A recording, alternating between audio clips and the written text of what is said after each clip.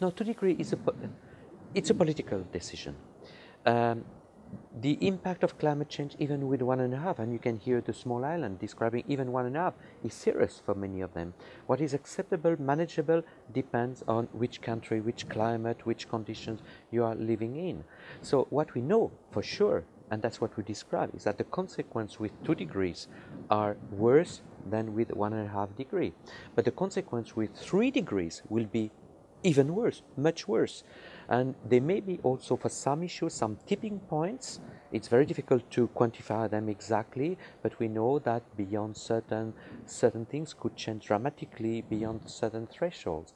And often these thresholds are a bit delicate. So in in a sense, the higher you go, clearly the higher the risk. It's not just a linear uh, relation between the warming and the consequences. One and a half already is a lot for a low-lying small island. But it, it can be a lot for also other things like uh, uh, you see um, the melting of the glacier. You see already now you see impact on some some invasive species are moving north because of, of that. So you see some quite a few consequences uh, now.